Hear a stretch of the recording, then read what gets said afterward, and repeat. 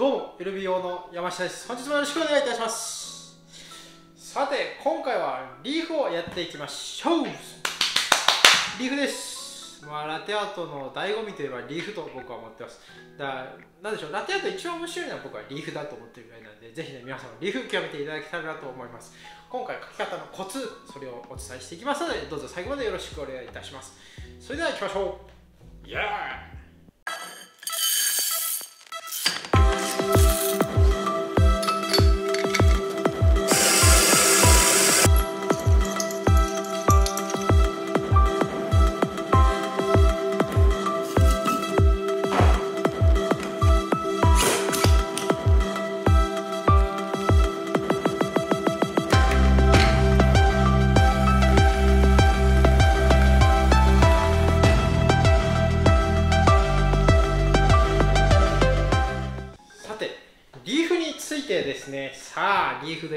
でまず第一のポイントとしましては絶対にハートが綺麗に描けていることがポイントです。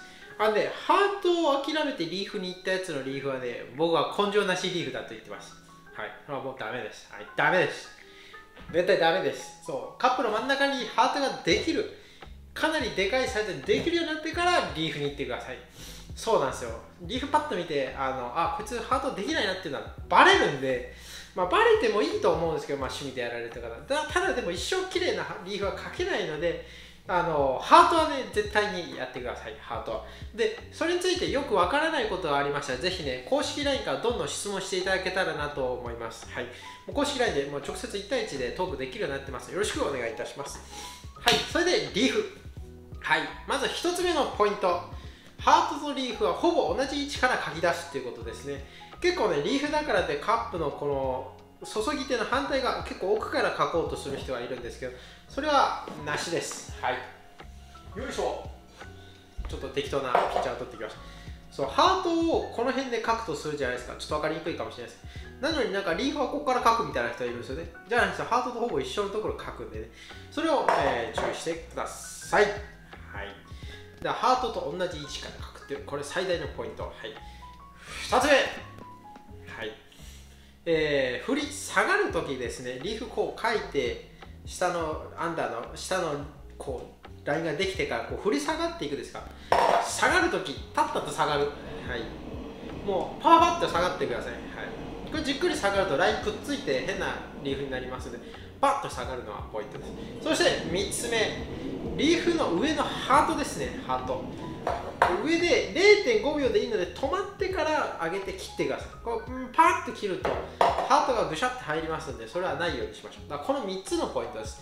1ハートと同じ位置から書く。2立ったと振り下がる。3ハートでしっかりと止まるっていうことですね。ではそれを踏まえて、えーぜひ見ていただきましょう。レッツラテアート。はいそれではですね、えーっていこうと思います。はい。でいつものですねボトムレスフィルター。もうこれ、えーないとやばい。はい。あのークレマ増幅弁がある状態でしたらうん買うんだ。あの非常にやりにくいのでもうこれはもうほぼ必須と言ってもいいでしょうね。はい。で今回は、えーもうシーズンもシーズンですねちょっと粉量多くします。16.5ですね。これレシービングカップと言います。はい。これをカポッとしてひっくり返すだけで粉が入るっていうね。これちょっとこう揺らしてあげてピッてやるとこうね。ポコッと入るんですよはい。でえーこれをですね今ダマになってると言いますまあ固まってねこれを崩していきます。で崩す方法が2つありまして1つはもうめんどくさい方はこれおすすめですね。これパコっててくるくるくるっと回すだけなんですけど。でまあもう1つもうきっちりやりたいって方はドーシングプレートですね。ペッて置いてもらってこの針の方でグーッとやります。今ちょっと形状が変わってるんですけどもっともっといいやつに変わってます。昔はねこの針が太かったんですけど今細いやつに変わってるんでこの塊をほぐすツールおすすめでございます。これねほぐすだけであの味がきれいに、はい、抽出されますんでねおすすめです。はいこんな感じでパラパラになりました。イエーイ。はい。でここからレベリング。レベリングググググググググググググはいここね隙間をきっちり埋めていきますはいでこういうものがあるとえーま、っすぐ置けますんであの単品具材あればいいですねで先に、えー、これ、えー、ディストリビューターでディストリビューターを使ってディストリビューションしていきますはいややこしい、でまあこの時点で結構こう平らに綺麗になりますねこれが大事ですはいでニュー低圧タンバーですねはいこれもう引っ掛けがあるんでまっすぐ押せるやつです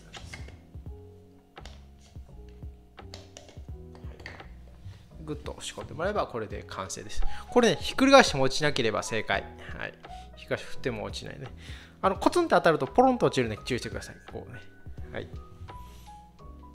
でね、ちゃんときれいにこう塊を取って、あの、ディストリビューションとか使っていると、こうね、縁にあんまり粉がつかないんですよ。まあちょっとはつくんですけど、こんな感じでね、えー、いいと思いますね、これ。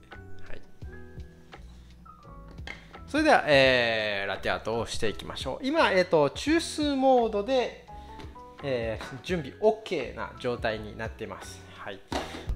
はい、それではですね、ラテアートをやっていこうと思います。で、えっ、ー、と、スチーム先でいきましょう。はい。まあ、慌てる方は中枢先でもいいので、どちらでも大丈夫です。はい、慣れてる方はもう中枢後でやってもらったらいいんじゃないかなと思います。はい。まあ、その場合はですね、こう全部準備しておきます。牛乳入れたピッチャーカップ、ハンドル、あとはこういう、あの、お湯とか受けれるピッチャーですね。はい。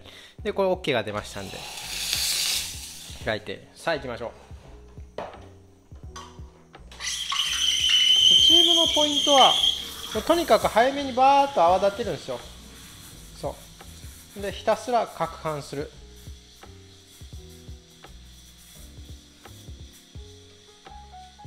もうそれが大事ですねで攪拌のポイントはもうあっさあ思うぐらいまであのちゃんと温度を上げることもポイントですねただ沸騰しないように注意してください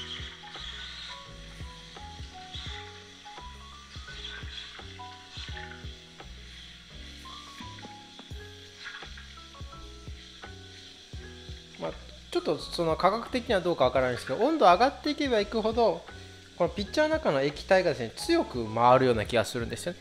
でそのタイミングでもしっかりともうブンブンに回していきましょう。ブンブンです。はい。しっかりといってあっすっていうところまでいきましょう。はい。でここから一気に温度を下げていきます。はい。でピッチャーちゃんと混ぜておきましょう。はい。でこうお湯が出たら OK なんで。はい。でスッとハンドルを引っ掛けてチュースです。こうね。良さそうでしょ。でトロトロのエスプレッソすぐ抜く。これ大事。はい。ではリーフ書いていきますはいしっかり混ぜましょうこのタイミングでねはいで、上からまず注ぎます、上から。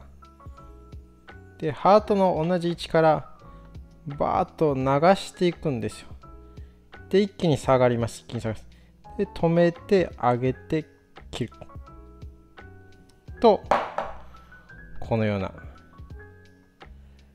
ちゃんとラインの細かいリーフができます。はい、いかがでしたでしょうか？まあ、あんな感じですよ。はい。リーフ、ぜひね、皆さんも挑戦してみてください。で、今回使用した豆がですね、LBO ブレンドです。はい。もう、最高にクレーマが出て、最高に美味しいですね。せっかくなんでいただこうと思います。あ、ですよね。あ、ですよね。そらうまいですよねっていう話なんですよね。はい。だから家庭マシンでもね、業務用にめちゃくちゃ近い味まで出せますんでね。ぜひ。でエスプレッソ編もまた今度やりますのでぜひ楽しみにしていただけたらなと思います。うん。うまい。止まらない。うん。うん。うまい。うん。後藤さんあらした。いやめちゃくちゃうまいんでね。ぜひよかったらぜひね LBO ブレンドを頼んでみてください。で LBO ブレンドもですね定期便で、えー、豆指定で毎月送ることもできます。その場合結構お得でお届けできますのでよかったのでで初初月に関しましてはサービス付きなんですよ。よかったらぜひねお願いいたします。今定期便がですね1日でちょっと写真出るかな出たらあんな感じでもう結構ねやばい量が届いて 発送になってます。はい大人気でございます。よかったらぜひねよろしくお願いいたします。リピート率もむちゃくちゃいいんですよ。いやありがたいです。本当に。ありがとうございます。あしますそんな感じで皆さんも美味しいラテを飲みながらここでアートもマスターしてください。もしアートに関してわからないことありましたらぜひね公式 LINE からどんどん質問していただけたらなと思いますで今回使用した道具に関しましては動画概要欄にえ出ておりますお願いいたします一部の相手につきましては、えー、速度にできるようにもうガンガン仕入れを行っております。よかったらぜひねよろしくお願いいたします。それともうラテアートはもうやっぱりもう習うのが早いんでもしよければぜひね1対1のラテアート教室来てください。今のところ、えー、初心者さんでも、えー、女性の方で初めての方でも、えー、もう本当にね1対1で一発で、えー、ハートができるようになったりしますのでよかったらぜひね、えー、ご覧いただけたらなと思います。そんな感じで次の動画でお会いしましょう。ではバイ。まあ、おまけのプチトークでございます。で、まあ、いろいろマシンがありますけど、まあ、デディカはね、やっぱり、あデディカじゃない、デロンギに関しましては、まあ、デディカか、このマシンのどっちかで、えいいと思いますね。ECO とかそういうのは、やっぱなんかちょっと難しかったりするので、でもう価格的に悩みがあるのなら、スティローザでいいと思いますね。ぜひね、あのマシンで悩まれる方は、ぜひね、これを買ってみてください。でも、このボトムレスフィルターはほぼ必須ですので、ね、よかったらお願いいたします。それではまた